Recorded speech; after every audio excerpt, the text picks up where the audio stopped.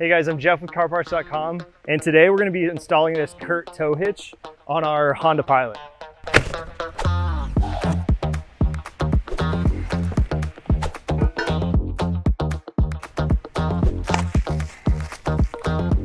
So you're going to put the washer on the bolt with the teeth on the bolt facing upwards towards the car.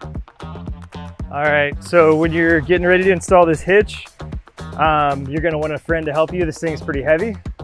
So go ahead and line it up under the car. And there's gonna be three bolts on each side.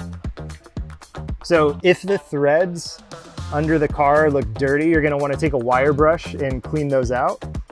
Um, but this car is pretty new and it, there's no debris in there, so we can just go ahead and um, screw these in. Also, if you have a full size spare, you're gonna have to remove that. This car has a small spare, so you can just leave it and the hitch will fit around it.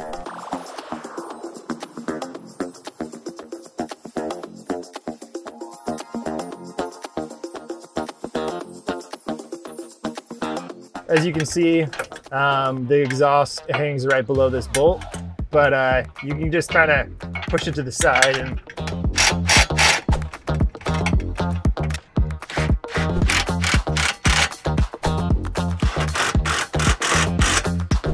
It took us about all of 10 minutes to install this thing. There's six bolts. Make sure you torque the bolts to spec and uh, have a friend help you lift it into place. But yeah, it took about 10 minutes to install this and we're ready to go.